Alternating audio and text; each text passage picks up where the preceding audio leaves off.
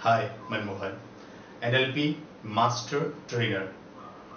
ये वीडियो आपको पसंद आए तो सब्सक्राइब करें, शेयर करें, खुद फ़ायदा उठाएँ और अपने दोस्तों को हेल्प करें उनको ग्रो होने में।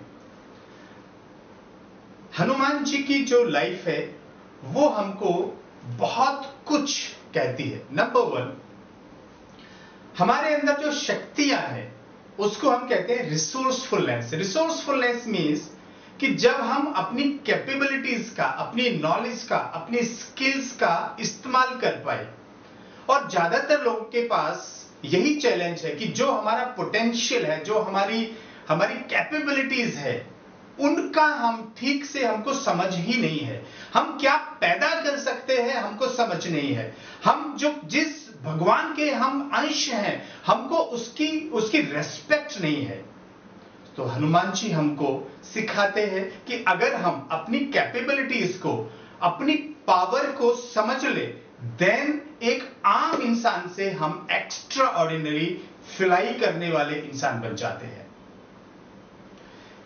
फिर जब हनुमान जी जाते हैं तो उनको ऐसा नहीं होता कहाँ जाना है।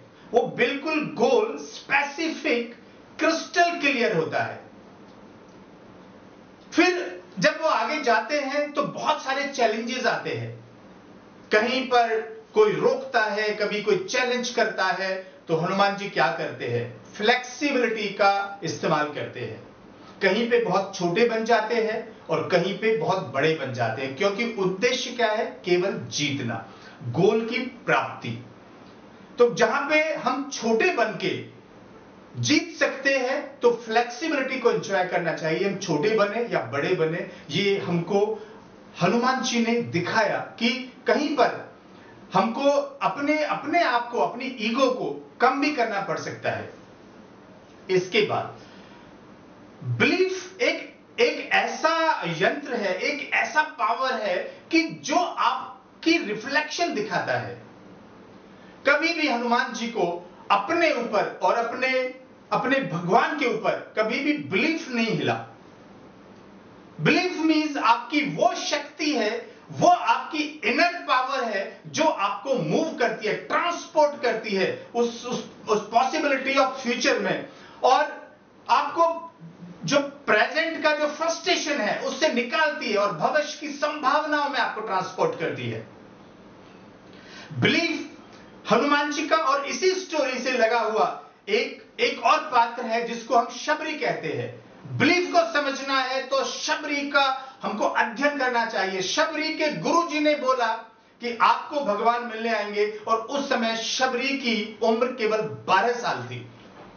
12 साल की शबरी को कभी भी ऐसा महसूस नहीं हुआ कि भगवान उससे नहीं मिलने आएँगे। वो उसी दिन से उनको बिलीफ बन गया, ये पूरा भरोसा हो गया और वो अगले दिन से ऐसे तैयारी करती है भगवान की। कि स्वागत में कि फूल बिछाते हैं और भगवान नहीं आते। और जब शबरी को भगवान की प्राप्ति होती है, उस समय वो वृद्ध हो चुकी होती है। इतने सालों का जो इंतज़ार है, इसी को बिलीफ कहते हैं। इसी को हम विश्वास कहते हैं और जो आपको सफल बनाता है।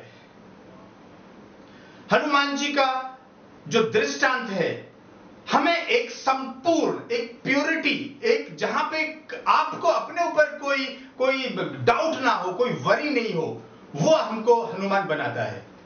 अगर आपको अपनी रिसोर्सेज का इस्तेमाल पता चल जाए और आप उनको इस्तेमाल करें, आप अपनी कैपेबिलिटीज को इस्तेमाल करें, अपने गोल पे फोकस रखें और रास्ते के आने वाली जो चीज़ें हैं, वो केवल उस प्राप्ति का एक हिस्सा है, एक प्रोसेस है तो you can achieve the wonders in life